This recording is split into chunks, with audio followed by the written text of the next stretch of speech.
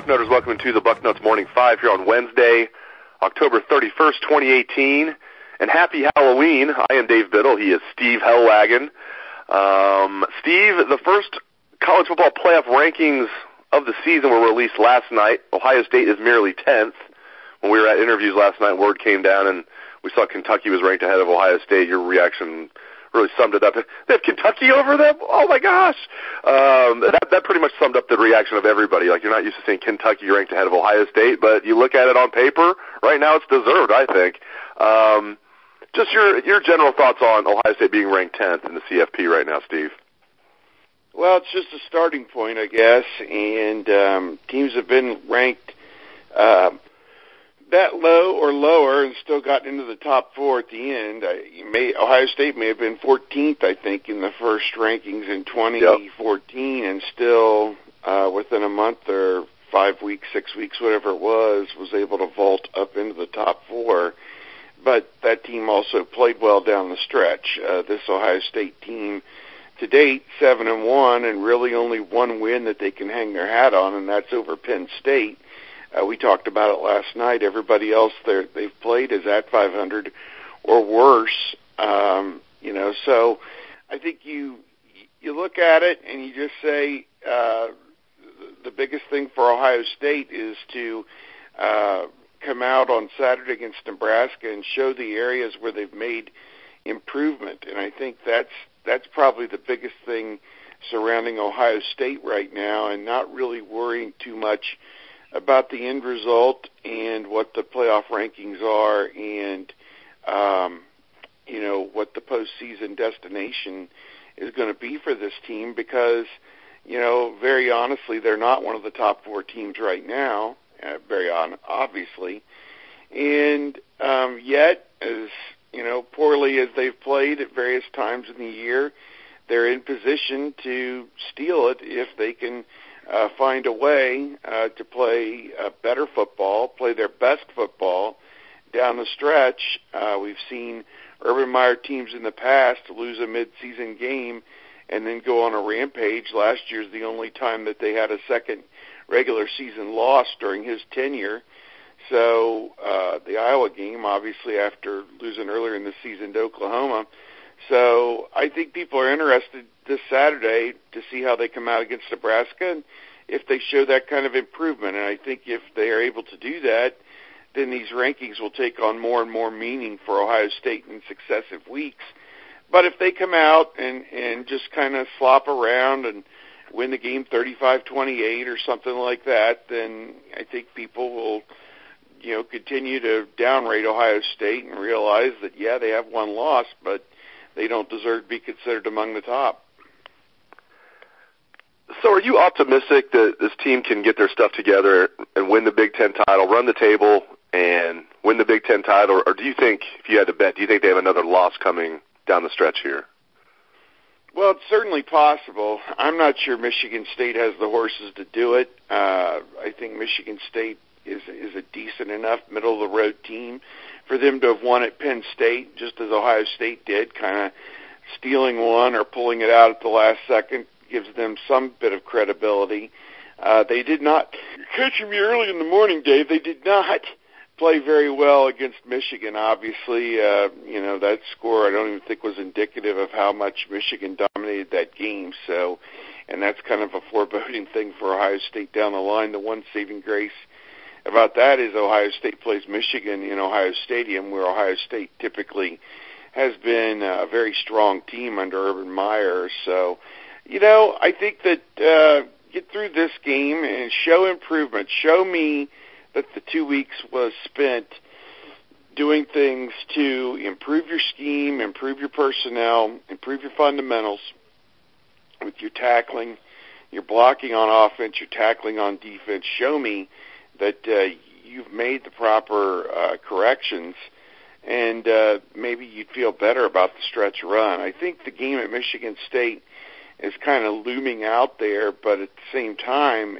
you know, I think a lot of it is less to do with the opponents. I mean, I don't, see, you know, an Alabama or you know who, whoever, you know, let's just say a, a. I mean, I guess Michigan's a national top six team at this point, but I don't see a dominant, dominant team out there that that Ohio State can't beat in the next four or even five games if they make it uh, to Indianapolis. So uh, it, the cards are all out there that on the table, and now Ohio State uh, has got to go through this schedule and, and and show itself to be what everybody thought it could be at the beginning of the season.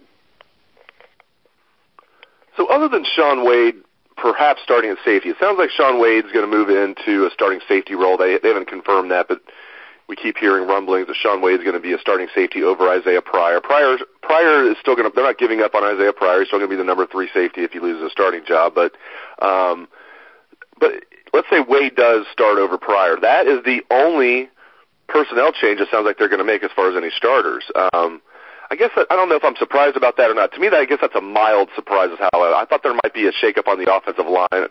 Shakeup might be too strong. I thought there might be like one, you know, guy lose his job. I thought maybe they might bench Demetrius Knox or somebody else that they thought was underperforming, and maybe get Brady Taylor in there at center, Josh Myers. Obviously, they don't think those guys are ready. Taylor's not healthy. Myers obviously isn't ready in their eyes um, to be the starting center. I was hoping Mike Jordan could get moved back to guard. I really feel like he's better at guard than center, and he's playing center just out of necessity. Um, you know, are you surprised? And we again, we don't even know for sure if, if Wade is going to be, you know, moving into the starting role. But if you know, if he is, are you surprised that's the only guy that's uh, going to be a new starter? Hmm. Yeah, I suppose so. I, you know, I'm kind of of a mind on the offensive line that uh, great, you would make a change, but does it make the offensive line better? I think that is a uh, a big debate. I think, um, as you kind of heard uh, Coach Myers say, that uh, Brady Taylor and Brandon Bowen are just now starting to practice full go. They were hoping to get them out there yesterday and see what they could do. Uh, that to me does not sound like they're ready to go in on Saturday and play 40 or 50 plays even. So um, I have a hard time wondering about that. And when the whole discussion about uh, uh, Jordan at center came up, he said that that was done to get their best five linemen, who they thought were their best five linemen on the field. And he, as much admitted, he didn't think Myers was ready yet. So, um, you know, Myers is a second year player, a redshirt freshman. So, you know, um, that's fine. Usually, you know, you don't expect an offensive lineman to play a whole lot his first or second year, although Myers was a quote unquote blue chip uh, type prospect. Uh, Michael Jordan has been the rarity, you know, at Ohio State to come in and play from the first game as a starter two years ago. So, um, you, you know, I honestly, and we've had these internal debates among our own staff, and some of us are of a mind that it is uh, poor play by the offensive line. I'm more of a belief that this is a really poor scheme that they're being asked to es- execute. This is the intersection of everything we thought it was going to be, what Urban Meyer wants the offense to be versus what Ryan Day and Kevin Wilson want it to be, and, and it's a dysfunctional mess other than the 420 yards they get uh, throwing every week. They uh, they can't score in the red zone, and they can't get two yards when they need two yards running the football. And other than that, boy, they can really throw the heck out of it. So, um, you know, the bottom line was it wasn't good enough to win the last game they played, and against a Purdue defense that you know no one's Canton. So, you know, I think that these guys got some issues that they need to work through. And I, you know, people say, oh, the offensive line isn't physical enough. They're not nasty enough. Um, you know, that's fine. I mean, they're great pass protecting. You don't see Haskins go down very often. He usually has a, has a pretty clean pocket to work out of, and he's done pretty well with that. Uh, maybe run blocking isn't their forte. I don't know, but these run pass options kind of limit uh, some of their aggressiveness. I think you don't see these guys, uh, you know, turn somebody loose on the backside uh, and go pinpoint a linebacker. You know, I mean, because if you're running to the left side, you don't necessarily need to block the the right side defensive end. You can go find somebody in the second level to help spring your guy. Well, these run pass options, you got to keep a pocket.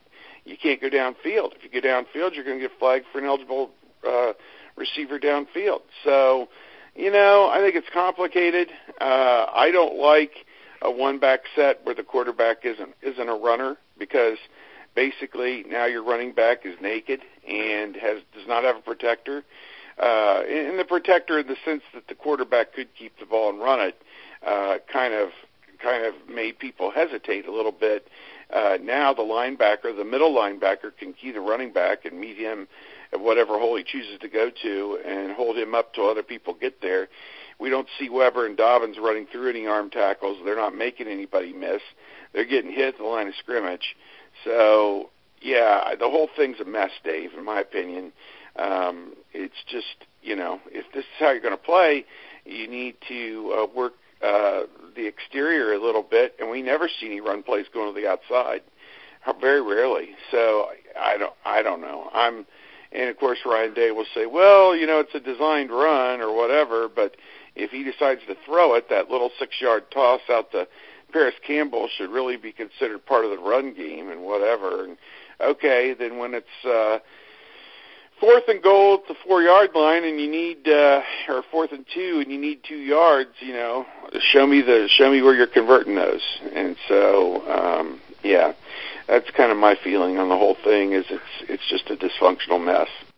Yeah very well said. We're all you know i'm i'm definitely guilty of it. A lot of people are guilty of you know just looking at i guess i don't just look at the players. I've i've talked a lot about how you know, stud. While I love interviewing him, and he'd be a great guy to have a beer with. You know, Ed Warinner is much better offensive line coach. Ed Warinner was over his head as an offensive coordinator, but yeah, and the scheme is not really conducive to offensive linemen who just want to get after it. So it's not just the players underperforming, which I think there is some of that. It is, it is the scheme. That was very well said, Steve.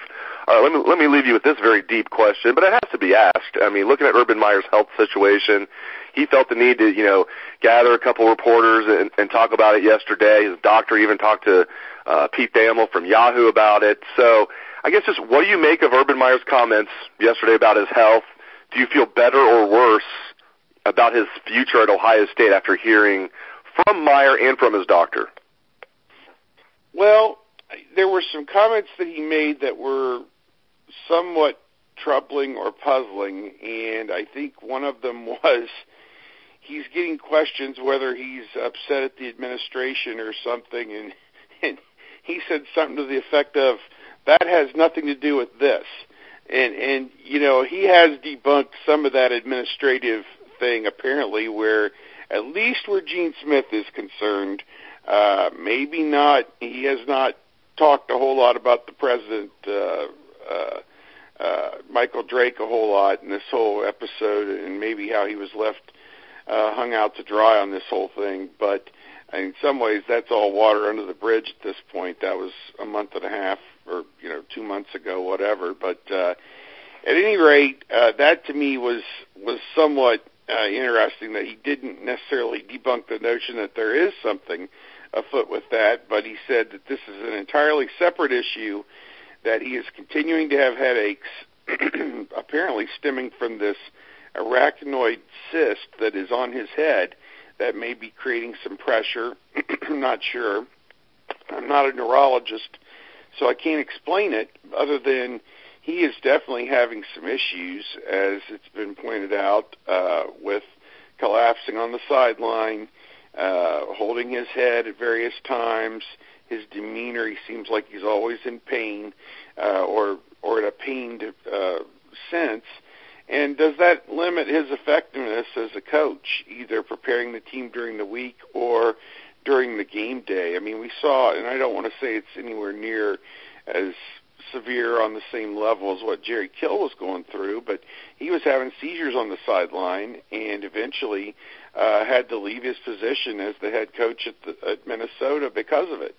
And I, again, I it, it's premature to say that uh, Urban Meyer is going to be uh, forced to uh, resign or retire because of this, but uh, you just wonder if uh, they they come up with some way to treat this. If he may at some point take a leave of absence, and uh, you know he's surrounded himself with a veteran staff of coaches who can basically carry the ball forward for him if that day comes, and so Uh, I'm not sure if that's going to be in his best interest maybe after the bowl game or whatever the situation is.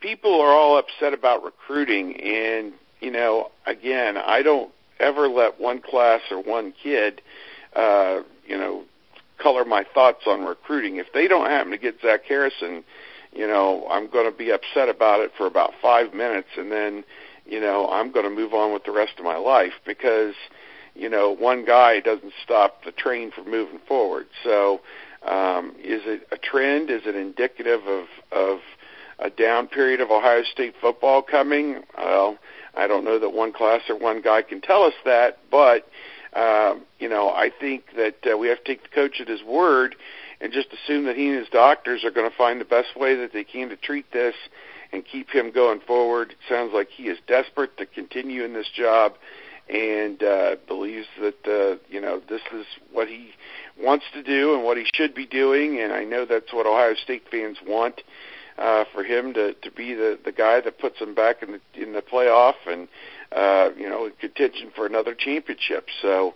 Uh, one day at a time, sweet Jesus. That's kind of where we're at right now, and uh, you know, hopefully he's feeling better, and hopefully the team will continue to play better as they go down the stretch. Great insights from Steve Helwagen. Really appreciate it, Steve. And thanks to all the listeners out there for tuning into the show. I appreciate that as well. Hope everyone has a great day. Happy Halloween, Bucknutters.